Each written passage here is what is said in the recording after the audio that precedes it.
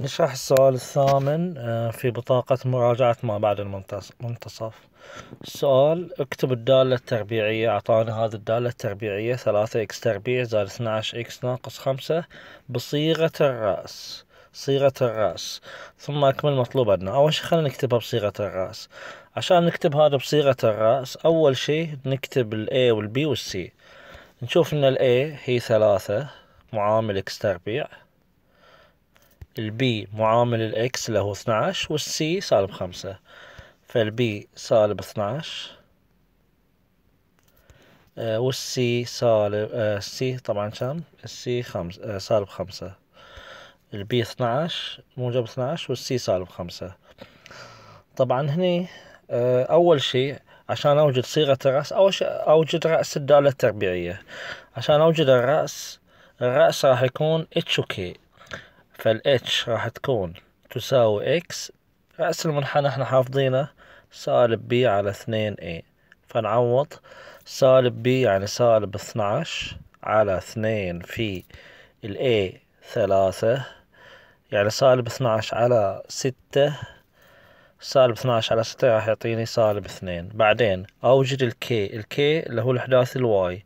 فعشان أوجد ال Y أوجد قيمة الدالة عند ال X. ال X اللي طلعته هي كام؟ سالب اثنين. أقوم أعوض عن سالب اثنين. يعني آخذ الدالة اللي هي ثلاثة إكس تربيع زائد اثناش إكس ناقص خمسة أشيل ال X أحط سالب اثنين. فراح أقول ثلاثة في سالب اثنين تربيع زائد اثناش في سالب اثنين ناقص خمسة. لو شيكنا هذا باستخدام الآلة الحاسبة راح يعطينا آه سالب سبعتاش فبالتالي فبالتالي عندنا هذه سالب سبعتاش وعندنا الاتش وعندنا الكي فبالتالي نتذكر قاعدة صيغة الرأس هي وش A في قوس x ناقص h. الكل تربيع زائد الكي هذه لازم نحفظها. A في قوس x ناقص h. الكل تربيع زائد k. فبالتالي تكون ال fx وش أول شي ننزل ال a ال a كم طلعناها؟ ال a ثلاثة. بعدين نحط قوس x ناقص h. كم ال h ال h عندي سالب اثنين. فإذا قلنا ناقص ناقص سالب اثنين راح تصير زائد. تربيع طبعا هني. زائدا K ال K طلعناها سالب سبعتاش فنقول هني سالب سبعتاش فهذه هي الإجابة. هذه صيغة الرأس. ثلاثة في قوس X زائد اثنين. كل تربيع ناقص سبعتاش بعدين طلب مني رأس المنحنى. رأس المنحنى هو إيش؟ اتش وكي اتش وكي وطبعا الاتش والكي طلعناهم كم؟ سالب اثنين وسالب سبعتاش هذا هو رأس المنحنى. الاتش سالب اثنين والكي سالب سبعتاش فنقول الرأس هو سالب اثنين وسالب سبعتاش. معادلة محور التماثل. معادلة محور التماثل هو x يساوي h أو x تساوي سالب b على اثنين a. فهو عندنا x يساوي h. ال h طلعناها اللي هي سالب اثنين. فنقول بس x يساوي سالب اثنين. بعد شنو يبغي؟ يبغي اتجاه فتحة المنحنى. طبعا الاتجاه لاحظوا إن ال A وش ال A موجبة معامل x تربيع بالموجب فنقول للأعلى.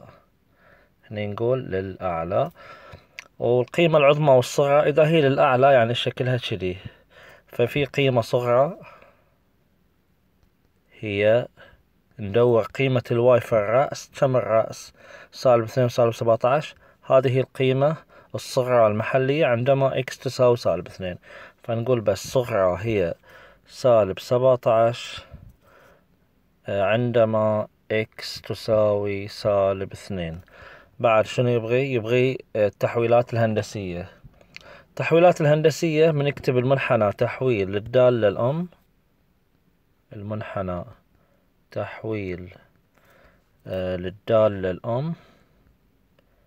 الدالة الأم اللي هي y تساوي x تربيع. طبعا نشوف ال a كم؟ ال a ثلاثة ما فيها سالب فما في انعكاس وثلاثة أكبر من واحد.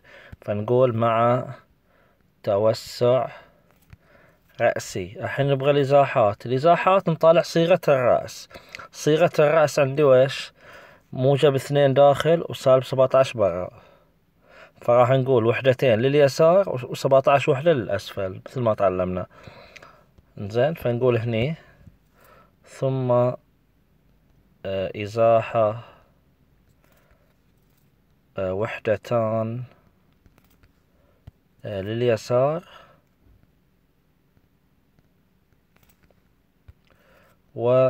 وسبعتعش وحدة لأن بالسالب برا فنقول سبعتعش وحدة للأسفل. آخر شي بمقطع واي. مقطع واي قلنا واي تساوي سي واي تساوي سي